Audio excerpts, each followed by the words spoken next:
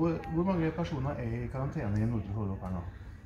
Ja, Nå er det karanteneregel på en måte, og karantenesituasjonen blitt slik at eh, vi kan ikke lenger ha oversikt over antallet som er i karantene. Nei. Så det har vi ikke noe eksakt tall på, men jeg vil tro noen hundre. Hvor mange, er- hvor mange er testa for korona i eh, Eh, Nordre Follo? Uh, 70 personer. Er det lite, eller? Det er, jeg har sjekket med omliggende kommuner, og det er tilsvarende eh, ja, testfrekvens for de kommunene. Ja. Mm. Er det en utfordrende situasjon for en Det er jo en såpass ung kommune dette her. da. Den Ja. er jo drøye to måneder gammel. Jaha. Og så kom den situasjonen her. Ja. Er, er det en er det, Det er klart at det, det er ikke Det er selvfølgelig ikke ideelt. eh, Vi kan ikke bestille noe sånt nå. eh, Men vi har jo jobbet hele fjoråret med organisering av Nordre Follo. Det er jo ikke sånn at vi startet først i første med det.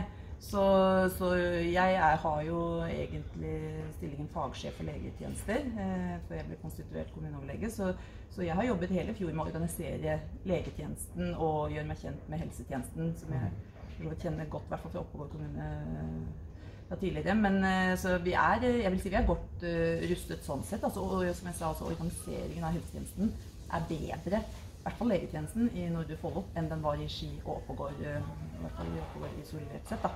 Mm. det er to stykker som er smitta Ja. i et øyeblikk. Mm. Tror du det vil øke? ja, det tror jeg. Hvor Mm. mange, hvor mange tror du kan bli smitta i Nordre Follo? ikke sant, På et eller annet tidspunkt langt frem i tid så tenker jeg at eh, vi kan jo ikke kanskje teste alle. Så det, på et eller annet tidspunkt så går man over i en ny fase, da. Mhm. Så Men eh, man er Ja. Det er vanskelig, det er vanskelig å spå om tall. Mm. Hvor lenge tror du det kan vare den unntakstilstanden som det er nå? da? Ja, det er også Det er vanskelig å spå. Vi må se, fordi at, eh, at sant, ut, et utbrudd er jo sånn og sånn. Og vi vet jo ikke hvor høy den er. Vi ser jo kurvene går sånn. Men vi, det er et nytt virus. Vi vet ikke hvor på kurven vi er. Men eh, nei, det tør jeg ikke å svare på hvor lenge. Du har sikkert fått med den saken som begynte jo i nasjonale medier i går. og Vi også skrev den med det som skjedde på Ski sykehus med den Mhm. pasienten som ble bestilt taxi til. Var, Er det noe dere har fulgt opp i etterkant der, eller? Ja, nå er jo det eh, en, jeg, jeg, jeg er involvert i det pga.